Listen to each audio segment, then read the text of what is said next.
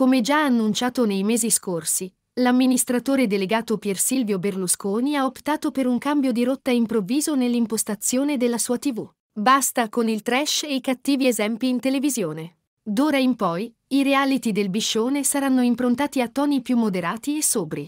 A essere travolti da questa rivoluzione, anche alcune figure di spicco di Mediaset, silurate a sorpresa, sia volendo Rodriguez che Barbara D'Urso. In queste ore stanno trapelando anche delle clamorose novità su un altro programma di punta del Biscione, vale a dire Uomini e Donne, ideato e condotto da Maria De Filippi. Uomini e Donne è una delle trasmissioni più seguite delle reti Mediaset. Pare che l'amministratore delegato di Mediaset sia ben deciso a fare fuori una figura di spicco del noto David Show della De Filippi. Un altro fulmine a ciel sereno che sta scuotendo nel profondo tutti i fan della nota trasmissione.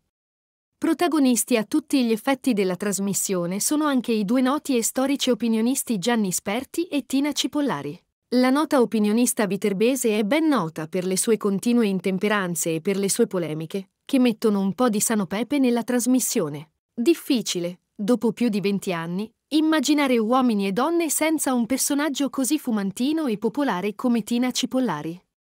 Eppure, a finire nel mirino di Pier Silvio, pare sia questa volta proprio lei. La sua eccessiva esuberanza non sarebbe affatto gradita al capo di Mediaset, che, almeno per il momento, avrebbe dato mandato alla De Filippi di porre un freno alle intemperanze della Cipollari. Ricordati di iscriverti al canale e di spuntare la campanella per essere sempre informato.